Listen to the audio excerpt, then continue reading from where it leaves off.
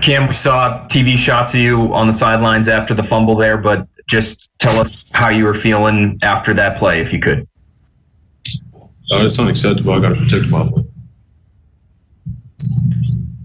Does it does it impact you more because you guys were moving the ball at the end there because you did have a chance, obviously, on that last drive there?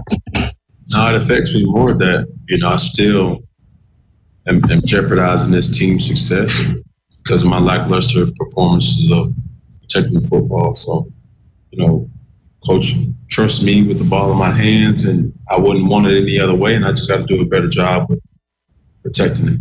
So